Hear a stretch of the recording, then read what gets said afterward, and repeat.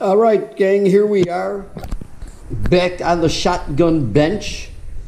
So, this Browning has failed to eject constantly with my ammo, and then it was with the store bought ammo. So, brought store bought ammo. I cleaned it real good, store bought ammo, boom, boom, nothing. It was federal. Hand loads. Tried a few of these. Uh, one in an eighth, number six, 18.3, nothing. Load them up through this Browning, pa-toom, pa-toom, pa-toom, pa-toom, spitting them out, spitting them out, spitting them out.